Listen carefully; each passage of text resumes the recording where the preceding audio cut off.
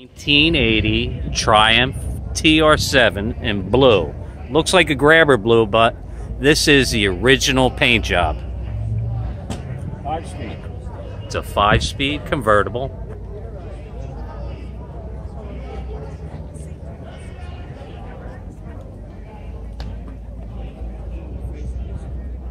The owner's an elderly man and he's tickled pink that it has a What did you cigarette lighter. and and he's a senior.